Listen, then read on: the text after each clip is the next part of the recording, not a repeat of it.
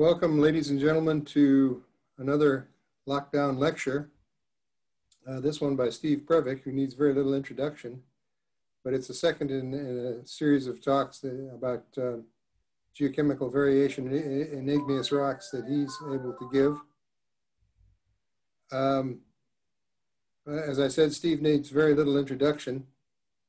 He obtained his uh, first, his BSc honors degrees in his uh, from McMaster University and uh, University of, uh, followed up with University of Alberta in Edmonton with a PhD specializing in the acquisition and application of radiogenic isotope data along with geochemistry and petrology to the study of the origins and evolution of various Proterozoic mafic intrusions.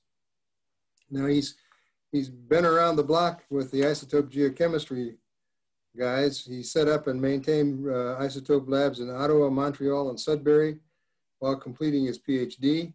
He then moved to Wits University where he spent six years in the isotope facility at what was the Bernard Price Institute of Geophysical Research, BPI Geophysics. He has been a member of the academic staff in geology at Rhodes University since 2004, where he teaches and conducts research in high temperature magmatic processes, mainly to do with layered mafic in intrusions and uh, impact melts. So Steve, with that, um, take it away and uh, looking forward to an interesting lecture. Thank you very much. Carry on. Thank you very much, Craig. Good to be back online here. So this talk, um, the title of the talk has been reduced to just talking about the effects of contamination in this lecture. Now, I won't be talking about differentiation or subsolidus processes today. I decided I had enough to say. So we will just get on with it here. So what distinguishes crustal contamination as a process is that we are combining or mixing two compositionally distinct components together. Um, many of the I mean, at least one of the geochemical com components must be different for it to matter, um, or the temperature, arguably. Um, so the, what distinguishes crustal contamination from processes such as magma mixing or mingling, the kinds of things I talked about in my July version of this, is that in crustal contamination, um, the two components are at different temperatures. So we must um, use up energy to consume the contaminant by the host material. So typically a basaltic sort of magma consuming some sort of crustal rock, which is several hundred degrees or even thousands of degrees or a thousand degrees cooler.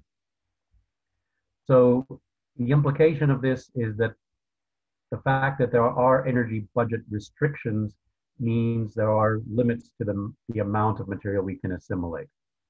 So there are mass balance restrictions on the effects crustal contamination can bring to a magma.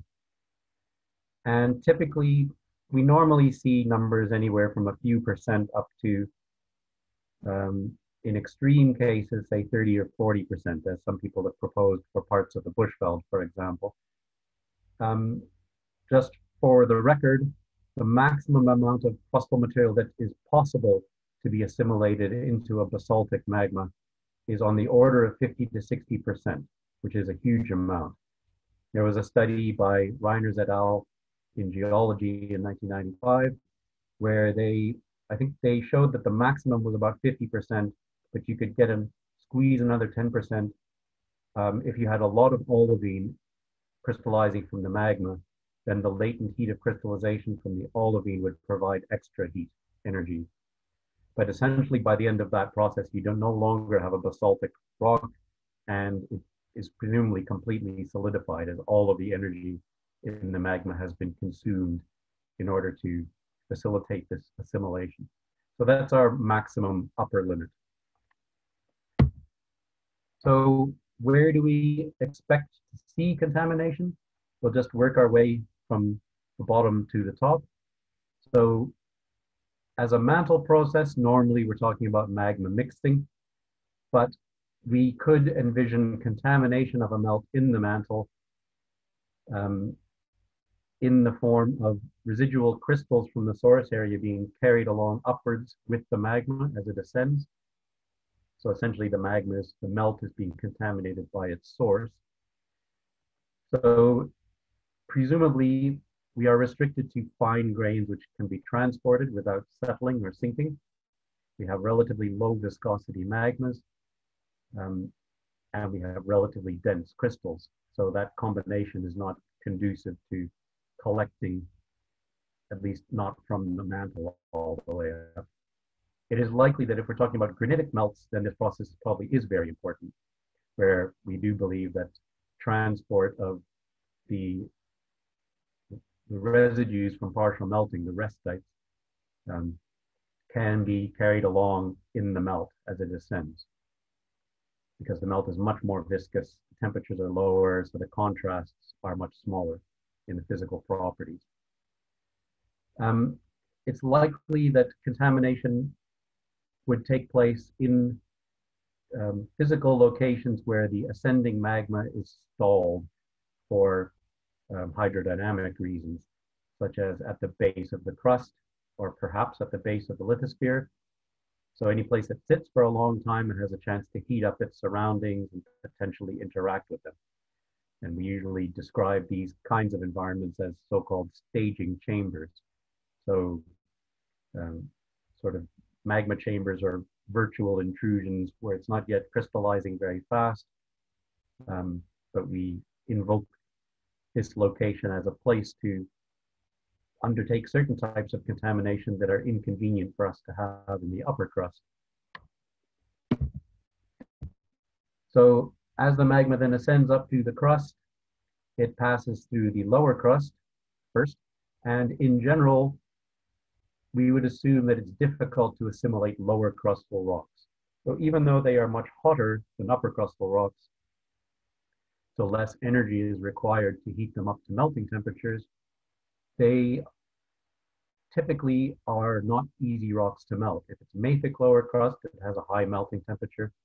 If it's granulite facies lower crust, the presumption is that the easy to partially melt materials, volatile rich stuff, the eutectic granite type fraction of that rock may have already been extracted. And so what's left is a refractory or difficult to melt residual material.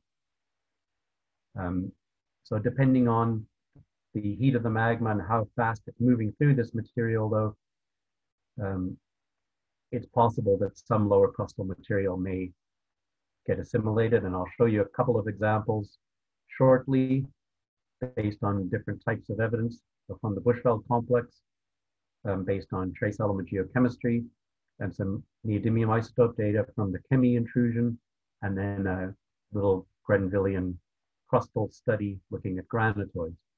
So the implication from indirect evidence or by yeah, inference is that middle or lower crustal material seems to show itself, so it's not impossible for it to happen. And then Bruce Marsh, perhaps controversially, has proposed that um, magmas are, people in his version, they're deriving all of their phenocrysts to produce layered rocks in layered intrusions by collecting those phenocrysts in the plumbing system in the crust. So as the magma has ascended through the crust, it cools against its walls and starts crystallizing and subsequent streams of magma, so either later versions of the same pulse or subsequent pulses, collect those crystals from lower in the plumbing system and carry them up and deposit them higher, such as in the final resting place in this example. So this would be a, a, essentially a form of self-contamination, if you like. And then finally, we have the upper crust. And this should be by far the most prevalent place for crustal contamination to take place. We have lower confining pressures overall, um, which enhances the opportunities for fracturing of the rocks, and brittle behavior because we are in the brittle domain in the upper crust. we have the presence of sedimentary basins, uh, much more likely in the upper crust than, than lower down. So these are rocks where there is access to crustal water, either bound to minerals or in pore spaces, um, relatively high porosity of rocks, um,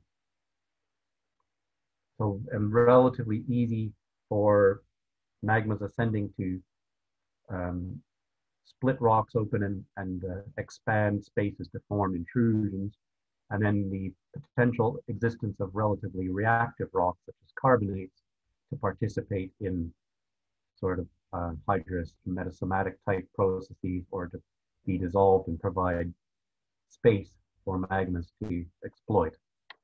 So the upper crust is by far the most receptive area for crustal contamination. So what kind of evidence do we typically see? Well, we can see actual chunks of crustal rocks sitting in mafic magmas, so rafts of crustal material, um, xenoliths of floor, wall, or roof rocks, which we then find in cumulus textured mafic rocks in layered intrusions. So this doesn't tell us how much contamination happened, but it certainly signifies that there was interaction in these zones. And we commonly see these in the basal of layered intrusions, um, where we would expect where the magma first interacted with the surrounding rocks and fractured them as it came in, we may expect these sort of marginal interactive zones between the crust and the, um, the intrusions. And then we can see evidence that this has in fact been consumed through the use of geochemistry. Um, so even where we don't find physical evidence, we can see chemical evidence. And we can look at more subtle evidence still in the form of radiogenic and stable isotope compositions. And then finally, we may find high temperature minerals which have let's call it anomalously high alkali contents and water contents. So in mafic rocks, finding phlogopites or apatites, for example, which have relatively high sodium and potassium contents. They are hydrous minerals. Um, it's not consistent with normal crystallization from the mineral assemblage which is going with them. There are other possible interpretations of these phases other than crustal contamination that remains a possibility. So just to illustrate this, here's some work from now 15 years ago by Spandler et al. on the Bushveld. There's some nice SEM photos of chromites at the top, hosting what are interpreted as inclusions of melt, and these tend to be relatively alkaline. You see some albite up there inside a chromite in the top right. And the geochemistry of these inclusions shows that they're relatively evolved compositions. The same sort of thing was described by Tuomo Alapieti and colleagues from Finland from platiniferous reef deposits in the Penikat intrusion in northwestern Finland. We see little albitic and phlogopitic inclusions in chromite here. Um, we see chemical evidence for crustal involvement. The one on the bottom left is kind of a cheat. So I'm using this as evidence for upper crustal contributions. In this case, it's an impact melt from Sudbury, so the whole melt is, excuse me, is homogenized crust. But what we believe happened after the impact melt formed is that it subsequently interacted with its floor. Um, and in the case of Sudbury, there's a clear geographic distinction between the floor in the north, which is um, late Archean gneisses, and the geochemical composition of the those rocks plots above this diagram, so it's not an accident that that circle is up there. And in the southern side of the impact, the floor rocks are or include a large component of mafic basaltic rocks, which I've circled there as Huronian and that's where they plot. And we can distinguish the bits of melt sheet that have been injected into the floor rocks. We can identify contrib chemical contributions from those floors. On the right, is a plot from Nick Arndt on the Bushveld, which indicates a correlation between the sill compositions that are interpreted as feeders to different parts of the Bushveld and average crustal compositions.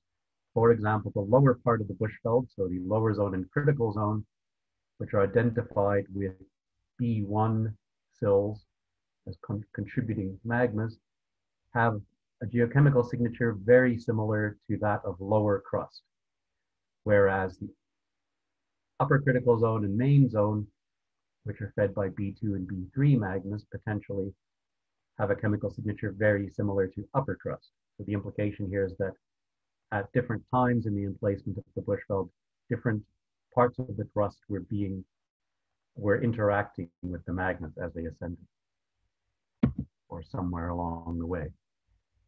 Um, one of the features which has been identified with the Bushveld complex in particular has been the presence of isotopic anomalies in radioactive isotopes, and particularly strontium, over the years. So work done through Rhodes University in the 90s and Moose, Moose Kruger's work. And then Judith Kinnaird has followed up on that with lots of data in the late 90s and 2000s. So these plots all come from Judith's work, I think.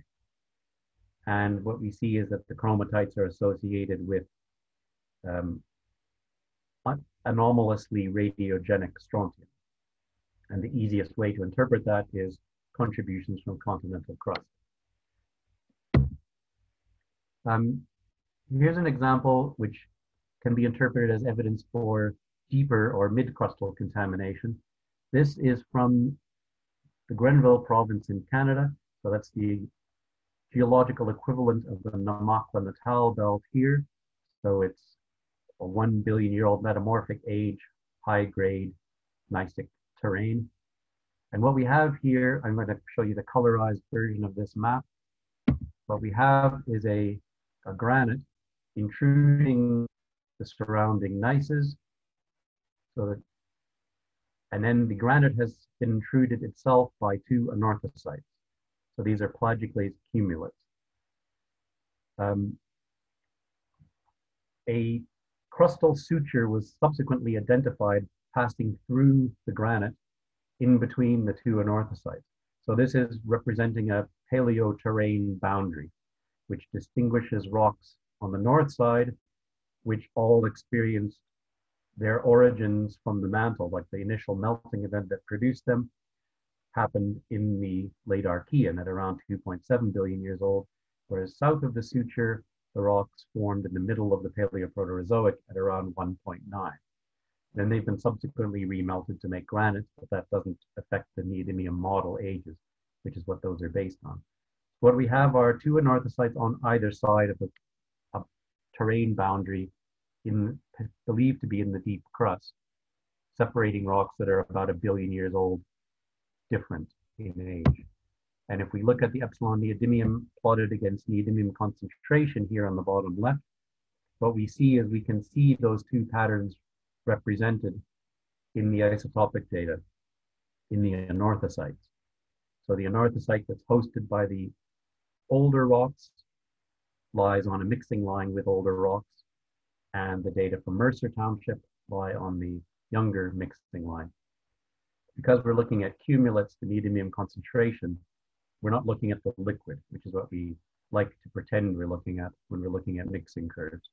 So the exact position in neodymium's concentration space is not critical from the point of view of falling on those curves. Here's an example from the Kemi intrusion, which is in Finland, in northwestern Finland. This is the largest igneous chromite deposit outside the Bushveld. And what this plot shows is epsilon neodymium again versus neodymium concentration once again. And what's been modeled here is mixing of a depleted mantle source, which is the blue star in the upper left, with crusts of different ages shown in the stars next to their ages. So the host rocks to the intrusion are around 2.5 to 2.8 billion years. The intrusion itself is 2.5. older rocks which have been identified in the area are around 3.1. So that's one of the oldest rocks we know of exposed. And what our modeling shows, so the green curve, for example, there are two green curves. There's one that you can see obviously spreading out across the, the diagram. That's the path of the, the liquid composition with minerals crystallizing from it. So the cumulate minerals that are crystallizing are plotting on a line which is basically just going straight down the left-hand axis of this. And the liquids that go with them are plotting off to the right here. And so what this shows us is that to explain all the little dots on the left here, we actually need a crust that's at least about three and a half billion years old. So the crusts that are exposed at the surface, and even those exposed anywhere in the area, are insufficiently old to explain the isotopic data. So the implication is it must be deeper, older crust that's involved that we hypothesize its existence for the time being. So the implication there is that older crust is participating. So we use the term crustal contamination fairly loosely in general, and it's normally used to imply that we're talking about granitic crustal contamination which means high silica rocks with relatively high concentrations of um, alkali elements, high field strength elements, and large ion lithophile elements. The first couple of columns in the periodic table are things that tend not to be compatible in mafic rocks. Um, this can also include sedimentary rocks, quartzites and sandstones, for example, as well as carbonates, and shale. So these are all our silicate materials sorry, not carbonates, but they can be similar. The most common cement in a, in a sandstone is a carbonate cement. And then we have our non-silicate crustal rocks, which we tend to neglect unless we're working in the Platreef where some of it is jumping out at us. So you have carbonates, which very commonly form the floor rocks to major layered intrusions worldwide. And these are non-silicates, and they're not enriched in the same alkali and high field strength elements, and evaporites, which are volumetrically minor, but potentially geologically very important. And they can be enriched in sulfur as well as in calcium, um, but not in silica. And we'll see why that matters as we move along. So what are the, first effect we think of with crustal contamination is that we change the composition of the magma. Fair enough. So we're not going to go into this. Suffice to say that the general characteristics of continental crust are well established and how they differ from typical mantle partial melts, which produce more like basaltic to andesitic type magma compositions. So we know what geochemical indicators we might want to look for. We're going to move on to slightly more subtle things. Um, here is a ternary phase diagram it was developed in the, I think it's 1911 it was published, something like that. So there's no excuse not to be familiar with it. This is the forsterite anorthite silica diagram in which there is a peritectic reaction between forsterite olivine and silica, which results in enstatite orthopyroxene being on the, the lower axis here. So typical mantle-derived magmas might begin with a composition as indicated by the star. And if we look at Winter's textbook, the way we teach all of our undergrads, we almost always start with compositions here, and we show them um, with crystallization of olivine and orthopyroxene, what happens to the magma composition as temperature drops. However, if at some point during that process we contaminate our magma with granitoid continental crust, that material is represented in this space by silica in the bottom right corner, which means any contamination will pull the magma composition in this direction. And this will result in the crystallization of orthopyroxene rather than olivine. So the liquid line of descent, which is igneous for the liquid composition as temperature drops, so we can only move from an olivine bearing magma to an orthopyroxene bearing magma and never the other way around. There is no version in this space where normal equilibrium or fractional crystallization can cause a magma which is crystallizing orthopyroxene first to start crystallizing olivine later. It's not a possibility. We won't go into why. However, we could envision a case where a more evolved magma, so either one that has just been crystallizing normally, or it has been contaminated by siliceous material, gets contaminated by a dolomite, for example. And in this space, dolomite is going to show up as mainly magnesium component. There's a little bit of calcium which would come out in the anorthite component. That's not going to change the story. So we could move things to the left in this space if we invoked carbonate contamination. And I've never seen this diagram invoked in any kind of discussion along those lines, but there's no reason it couldn't be. And I could think of places where it should be, specifically a whole bunch of really olivine and magnetite rich intrusions in southern China from the Permian. So here's a nice xenolith of dolomite in a mafic magma, just to show you I'm not just whistling Dixie here. So this is from the Eastern Bushveld. As I was looking at this slide, making this talk, I sort of had the feeling that they were watching this xenolith actually sinking through the magma as they were watching. They look so rapt. But it was two billion years ago and they're not. So the other effect of crustal contamination that's been widely invoked and is relevant to mineral deposits and specifically chromite deposits in the Bushveld is Neil Irvine's original proposal for the production of um, chromitite layers based on crustal contamination. So just to quickly review, this was his publication 1975. So the implication is as the magma first crystallizes, it may start somewhere between A and B. It'll crystallize olivine and then olivine with a very small amount of chromite. We are in the very bottom left corner of a phase diagram with olivine, so forsteritic olivine specifically, chromite on the bottom right, and silica at the top. So we are crystallizing something like one and a half percent chromic in a cotectic assemblage, mainly consisting of olivine. So at some point, crustal contamination takes place and has a chance to affect the chemical composi composition of the magma. And that produces new mixed magma at point D. And point D is now in the field of chromite only crystallization.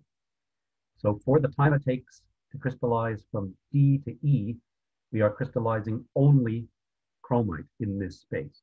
And the idea is that this is a way to produce essentially a monomineralic chromitite layer. We may then end up with some interstitial silicate, as we tend to see, a little pyroxene in between the cracks. And this could occur as the magma then um, follows the path from E to G and carries on. Um, Irvine does discuss the fact that depending on how much crustal contamination happens and exactly at what point during the crystallization it happens, the composition of the mixed magma, so point D, are sort of hybridized contaminated magma. So it could be anywhere in this space. So the exact lithological sequence we get may vary. And he shows how the Stillwater and the Great Dyke and the Bushveld each of which have slightly different characteristics, could be explained by this sort of model. Okay, so this kind of model has then been invoked in the Bushveld, most prominently uh, the work by Moose Kruger and Judith Kinnaird, so in the late 90s and early 2000s. And they developed a model illustrated most um, picturesquely in this paper by Kinnaird et al. 2002 on the top right. And this is really taking from Ian Campbell's, they did experimental um, analog studies um, showing uh, interaction of liquids of two different densities. I think it was salinity specifically. And the models where the incoming magma plumes upward, forms a hybrid through turbulent interaction with the resident residual melt, and then settles to the transient floor of the magma chamber. Kind of combining that with a version where the plume actually reaches the roof of the magma chamber. And then the process continues as illustrated in B there. So some version of this was invoked to explain this combination of chromitite layers associated with isotopic enrichments or increasingly radiogenic isotopic data at or just around the chromitite, sometimes just below it. Um, and they chose this as an alternative to the magma mixing model, which was Irvine's preferred model, which he published in 1977, having rejected his crustal contamination model. But he wasn't very clear about exactly why he was rejecting it in his paper. And the problem is magma mixing doesn't explain isotope um, enrichments. It doesn't explain why we'd have alkaline um, anhydrous minerals floating around in our chromitites. So this sort of circumstantial evidence supporting crustal contamination doesn't fit magma mixing. So if we want a single model to explain all of those symptoms, cross-contamination seems to work best. So my interpretation of Irvine's papers, though, suggests that his main problem with cross contamination to make chromitites is that if you use a granitoid, so it's not just silica as is plotted on that phase diagram we just saw, because a granite has more in it than just quartz. It has potassium and sodium in it, making up the feldspars and the micas. And the presence of alkalis, we can see in his experimental um, data plot shown here, he's mixing his forsterite with a K2O silica mixture. I'm going to show you a tidied up version of this in a second. Um, what happens is that when you add alkalis, it stabilizes the olivine and the orthopyroxene. So instead of moving you straight into the field of chromite, you actually, I haven't found a good way to illustrate this. It sort of needs a three dimensions. Um, but what happens is that boundary essentially moves with you. So it turns out, so this is a mixing line, the red line shown in this diagram. So we're going from an initial composition up here and our mixing line then, instead of going straight into the field of chromite, takes a long time before it actually crosses the chromite plus liquid phase boundary. And it turns out that that corresponds to more than 50% contamination. And at the time Irvine published these data, which was in 1973, and this is in an internal um, Carnegie Institute publication, there wasn't a lot of data on the chromite content or the chrome content of real um, layered intrusions. And if we look at the data from the Great Dyke and the Bushveld, that I have added to his plot here in the blue field. And what we see is that the chrome content is even much, quite a bit lower than any of the mixing lines that Irvine used as examples in his um, illustrations. So it means that realistically, we need at least 50 and probably more like 60% crustal contamination in order to use a granitoid to produce a chromitite. So effectively, that kind of throws that model out. Um, we need magma mixing for energetic reasons. And by the time you're finished more than 50% contaminating a magma, it is no longer a basaltic magma anymore. So we should see dramatic compositional changes in those magmas, which is not what we see in the critical zone of the Bushveld. We're not seeing a granite hosting chromitites or a, a. So in theory, if we use a sandstone or a quartzite as a contaminant, that gets rid of the alkali problem. Um, so that could work to create a chromite, a chromite layer. However, the melting temperatures of pure quartzites, as well as aluminium-rich shales or pure carbonates, is very, very high. And we're talking about 17, 18, 1900 degrees. So we can't have it both ways in a way. We can't say, well, we could have a pure sandstone, then that gets rid of the alkali stability problem, because then we're stuck with a material with a really high melting temperature. So it's perhaps possible that a sandstone with some carbonate in it to lower the melting temperature, as soon as we have a mixture of two things with high melting temperatures, we end up with eutectic mixtures with lower melting temperatures.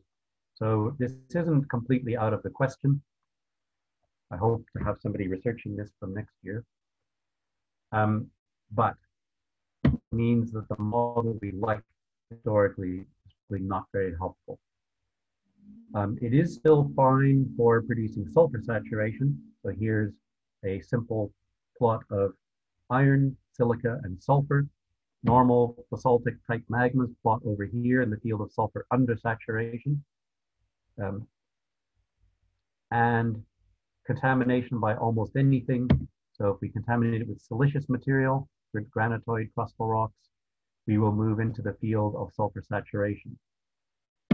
If we contaminate them with sulfur-rich vapor phases or evaporites, more usefully, we will also pull them into the field of sulfur saturation. And things like pelitic shales, I mean um, pyritic shales, sorry, would lie somewhere in between. And these kinds of rocks have been invoked in places like Norilsk as the contaminant to provide sulfur and induce sulfur saturation in those deposits. So there's no problem with crustal contamination driving the formation of movable sulfide and them deposits. That's helpful. So in addition to changing the magma composition, what else does crustal contamination do? Um, so as the magma loses heat to the country rocks, it is cooling and that will result in crystallization of the magma. So it was obviously going to be crystallizing eventually anyway, but as it starts assimilating types of rock, it speeds up the crystallization process. And we refer to this linked assimilation fractional crystallization as an AFC process. So just reflects the fact that we recognize that as we assimilate material and use up energy, it actually drives new crystallization.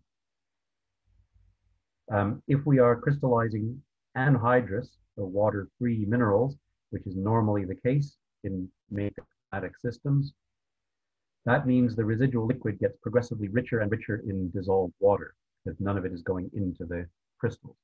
We're going to look at the implications of both of those here. Um, incidentally, while it's doing that, it's also causing the magma to become more oxidizing.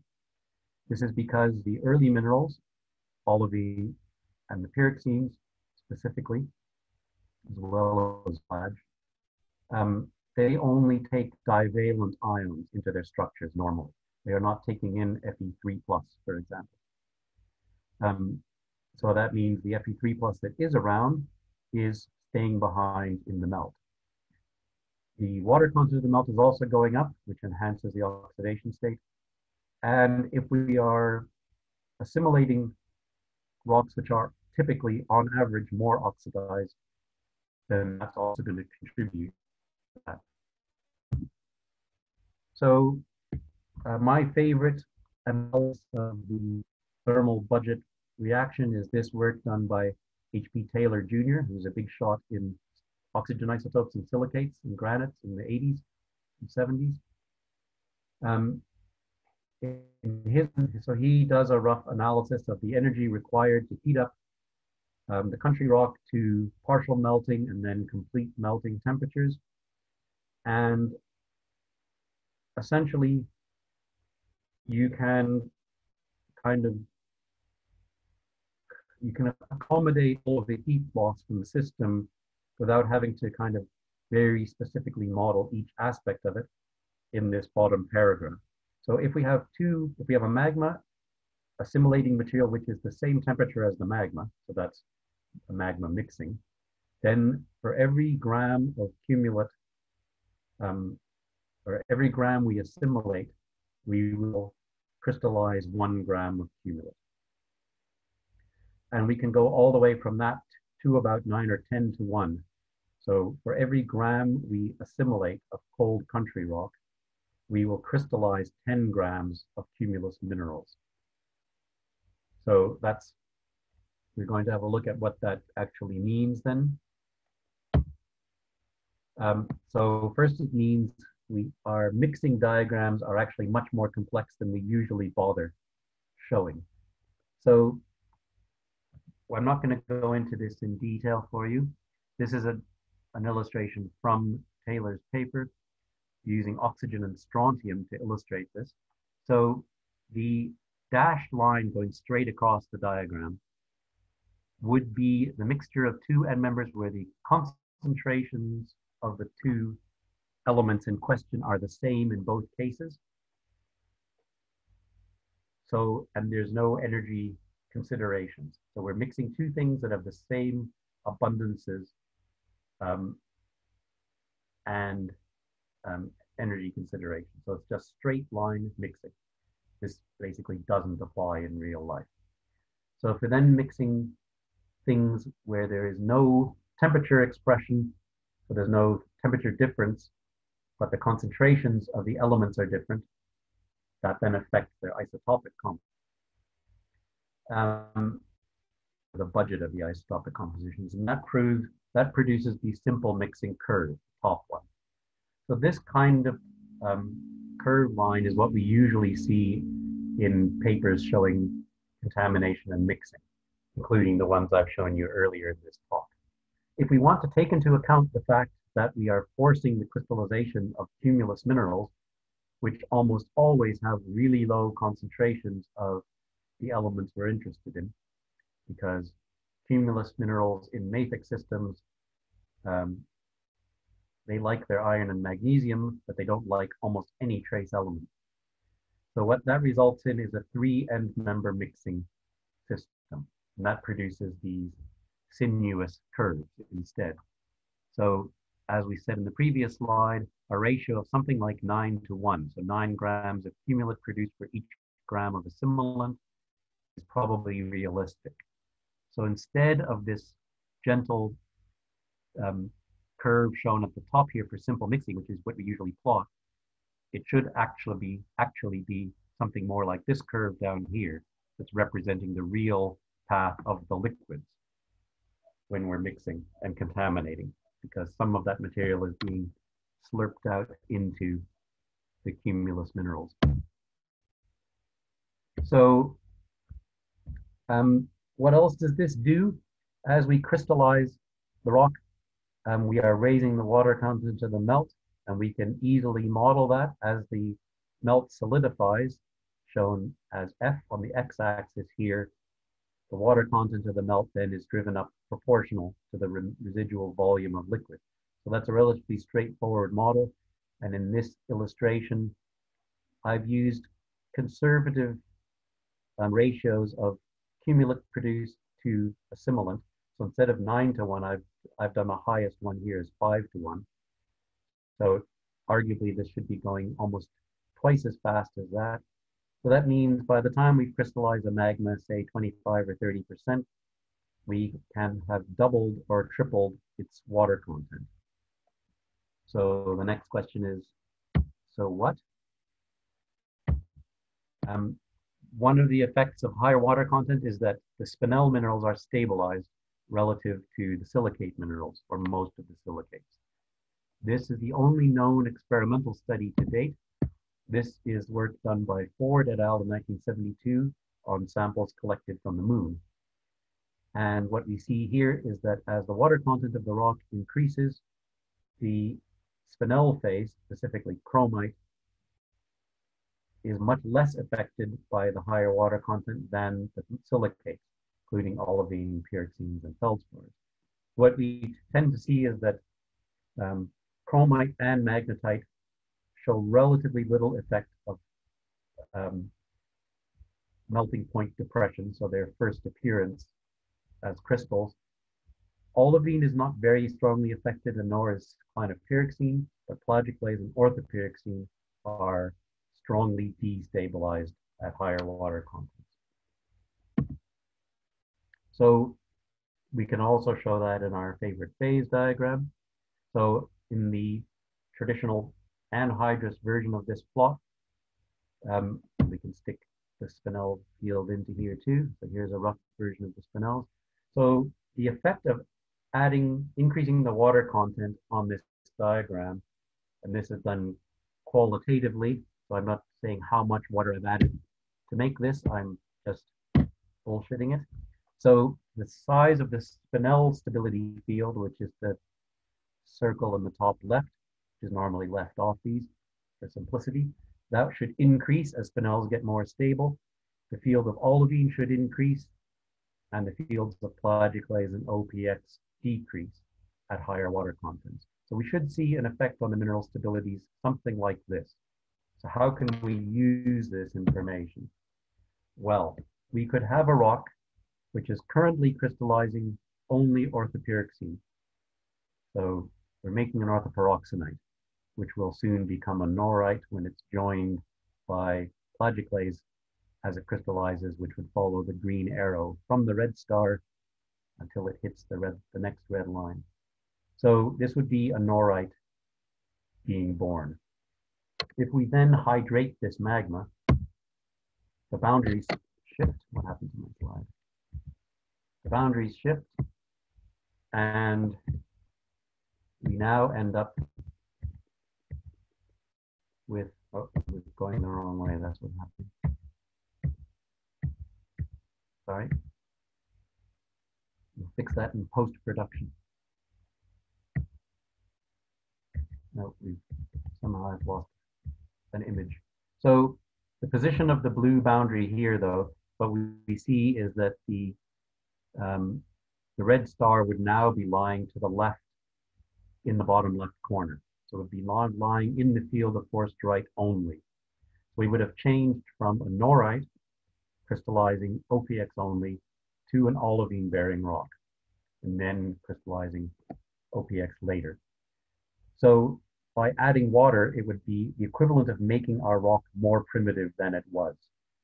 And the places we might relate this to would be places like the UG2 and the Merensky Reef, where there has been no olivine in the crystallizing assemblage for hundreds of meters, basically through the entire um, critical zone. We've more or less left olivine behind in the lower zone of the Bushveld. By the time we're in the upper critical zone, we haven't seen olivine for a long time, and then suddenly it reappears in these chromitite-bearing reef zones. And adding water is one way we might account for this. Okay. So, and this I haven't mentioned, I just added this slide about 15 minutes before the talk. Um, the, obvious, the more obvious effects of adding water to a magma include facilitating coarser grain mineral growth, such as pegmatoids, or heterogeneous grain sizes, what we refer to as varitextured rocks or taxitic rocks, if you're Russian.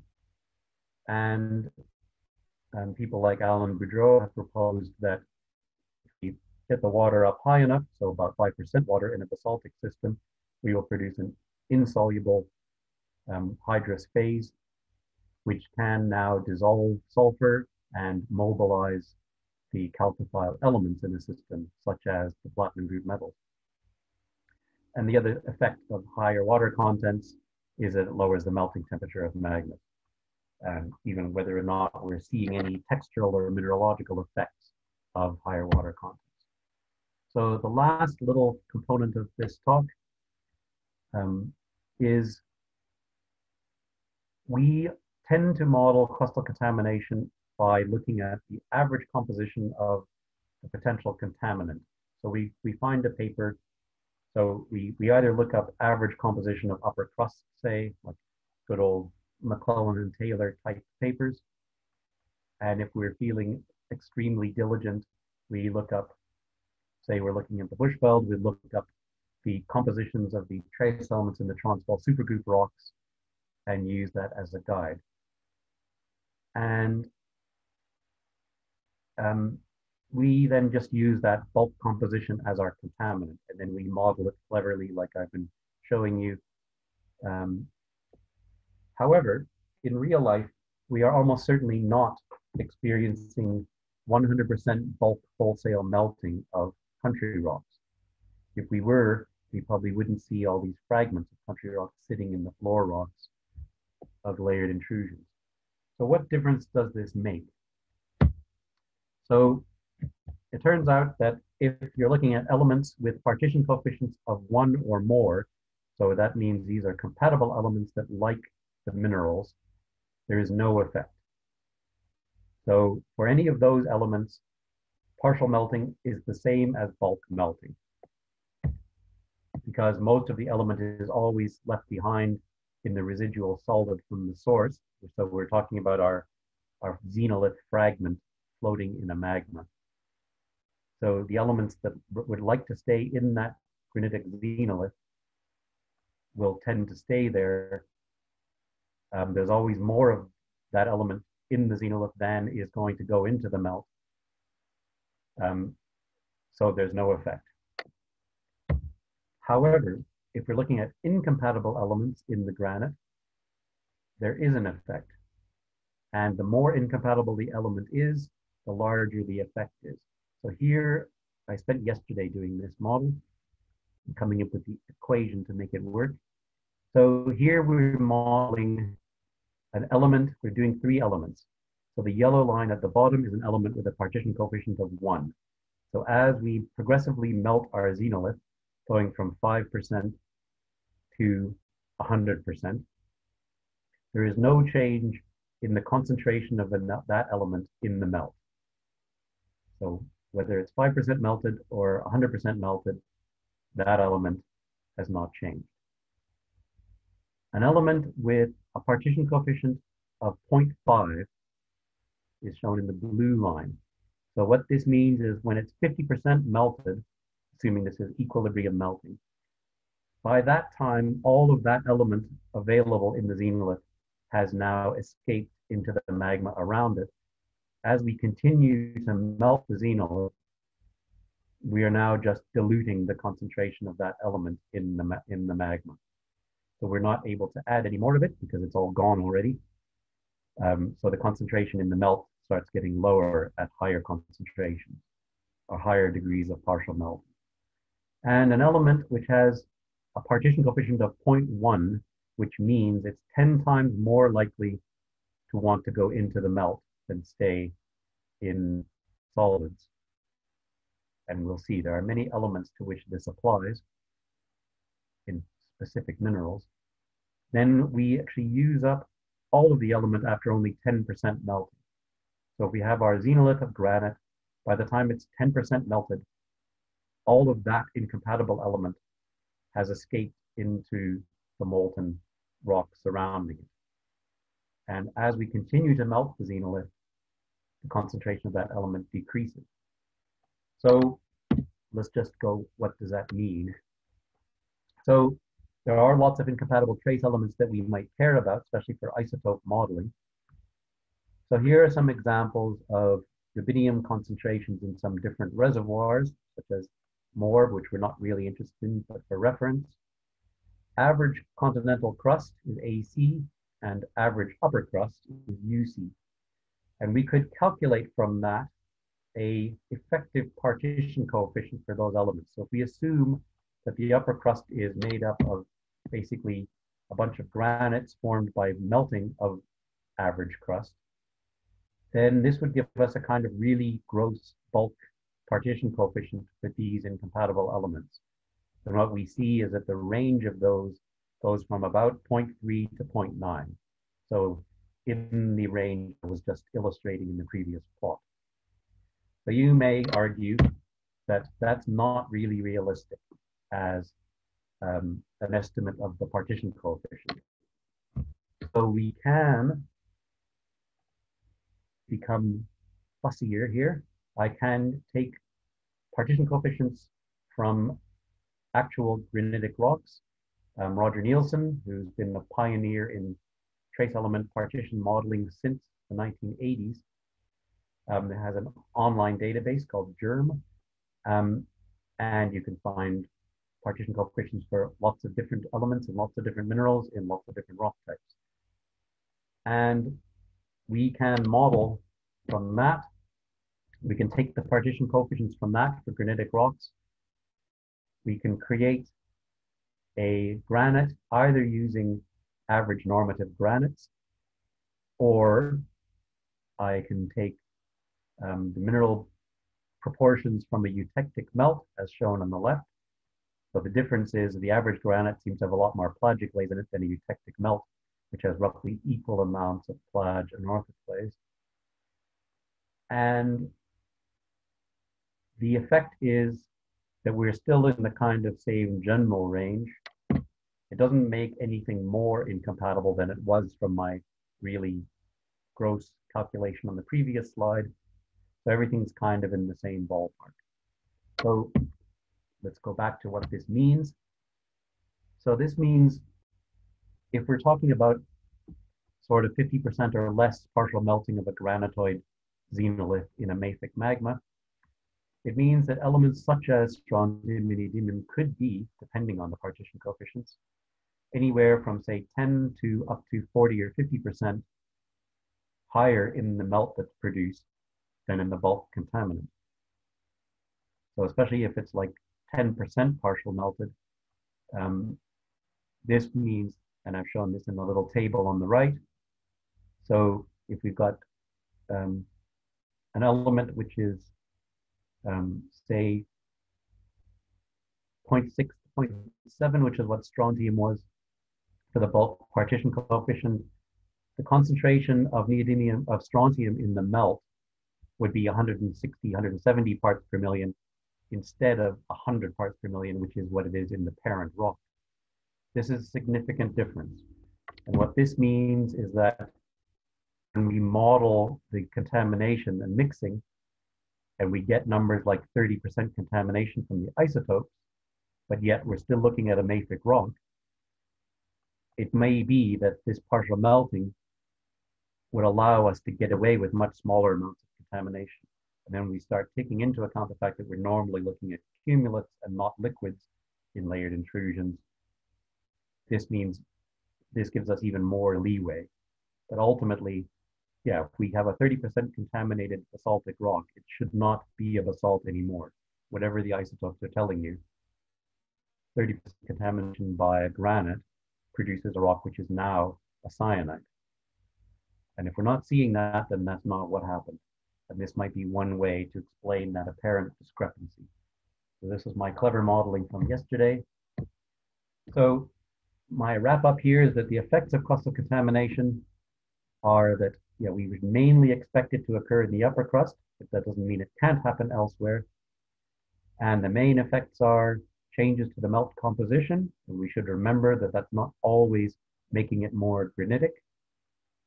Um, the effects of adding carbonate and adding water to the melt might have significantly different and much more profound kinds of effects. Um, it drives crystallization of the melt and it causes hydration and oxidation of the melt, ultimately favoring specific silicate minerals over others, in particular oxide minerals such as the spinels, magnetite and chromite. And with that, I will thank you very much and open it up for questions.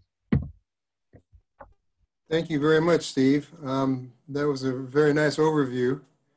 Uh, are there questions and comments on this?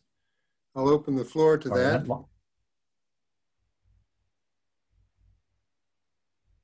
Um, Steve, one from me. I mean, uh, what I'm what I'm taking away from this is is the in any any given layered mafic intrusion, you can have a number of processes going on, a number of contamination processes going on. And. When you make comparisons between, say, the Bushveld, the Skaergaard, and uh, Stillwater, for example, can you track differences in these processes in each of these intrusions? Um, in theory. So Yeah, in in practice, this does become complicated by the fact that you are looking at cumulates normally. If you're looking at volcanic rocks, this becomes much more straightforward, and you can use Harker type diagrams where you're plotting silicon or magnesium or even zirconium against other elements. And these trends and the timing of those trends shows up much better. So in volcanic piles like the Karoo or Norilsk, it's, it's much more compelling. In rocks which are mixtures of crystals and liquids, it gets much more complicated. Um, the and it ends up becoming, becoming kind of circular. So you could argue that, well, the places where we have chromitites and sulfides and PGE enrichments is telling us that these are places where certain types of contamination or hydration occurred, but those models were, were created based on observation and analysis of those layers.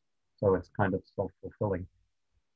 Um, but yeah, if you can unravel the effects of accumulation and compaction and trapped liquid movement and reequilibration. I mean, the, the last part of this talk is about um, subsolidus effects, and there can be some quite profound ones which even affect the, the modal mineralogical distribution of rocks. So unraveling those things is, um, in theory, possible. In practice, um, quite subtle and complicated. okay. Are there any more questions or comments? Yeah, uh, uh, Steve, it's uh, Mike DeWitt here. Um, I wonder if you, you mentioned in your second last slide uh, that you contamination of a basaltic magma uh, can result in, a, in things like a syenite and so on. At, at what sort of depth does that occur?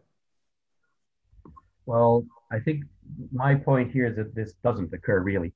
Um, so, so I'm sort of saying that when when we when you read isotope papers, um, where we spit out numbers like that, we start saying 30, 40 percent contamination.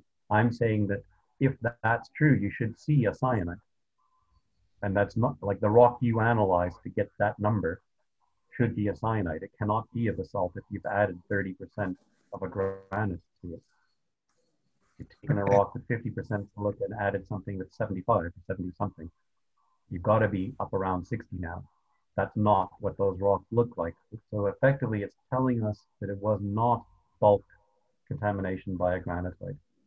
So it's either that that is a, an, a manifestation of this partial melting effect that I've explored here, or it's some other kind of contamination, some other process or some other end member that's been involved in that. Or the isotopes are not actually showing you cross contamination. There's some other way of bringing in that isotopic signature that hasn't been considered. So we tend to treat the isotope systems, we sort of mentally decouple them from the, the other elements, particularly the major elements. So um, that's the point I was making Okay, thank you. where we can where we find syenites associated with basaltic rocks, we think that's um, deeper, probably possibly immiscibility, um, and that's happening um, in the lower crust, probably where um, mantle-derived magmas are interacting with the crust, or there's a my colleague working on Panzhihua, the Panxi rocks in southern China, suggest that that's a silicate liquid immiscibility process. So as the basaltic rocks produced by plume melting of the upper mantle, as they start crystallizing at depth, they produce a syenitic and a basaltic, an iron-rich basaltic separate magma that then ascend separately through the crust and end up kind of co-intruding, but they're not magmatically, they're not physically linked anymore in the upper crust. So that association of syenites and say ferrogabbros is well well represented.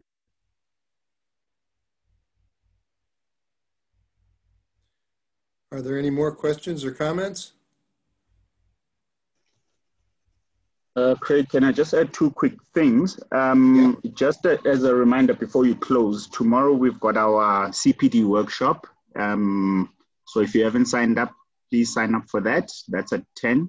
Um, I think you probably still can register. And then we've got another lunchtime talk at one o'clock. That's uh, from Victor Nzako, who will be talking on the influence of groundwater abstraction on surface water levels. That's tomorrow at one something to look out for. And then just back to Steve. Steve, I stole, um, I screen grabbed that um, heart-shaped reaction rim. Um, I will acknowledge accordingly. Um, I will use that similar to the ones I used from your part one presentations, just to emphasize this one. I'll, I'll specifically emphasize the love of geology. Your previous one with the with the Plagioclase spinocrist, I was emphasizing science over technology and the corona right. one. So I did it again. And we're looking forward to part three um, of this presentation. Back to you, Craig. Thank you, Steve. Pleasure. Thank you very much. Okay, with that, any last chance for comments or queries? Going once? Going twice? You can email me. Steve, it looks like you've sold, you've sold the, the story to everyone. So thank you very much for this. This is a presentation that I'll be going over again. We have one person who's raised raised his hand. Um, go ahead and unmute yourself.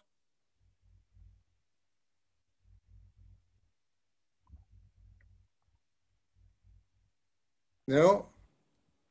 Okay, well, with that, Steve, thank you very much for this presentation. We do look forward to the third in the series. All right. Uh, we'll uh, keep everybody posted and, and, get it scheduled. So with that, I'll close right. the meeting. Thank you very much, everyone, for attending. Thank you. Thanks, Steve. Ciao. Ciao.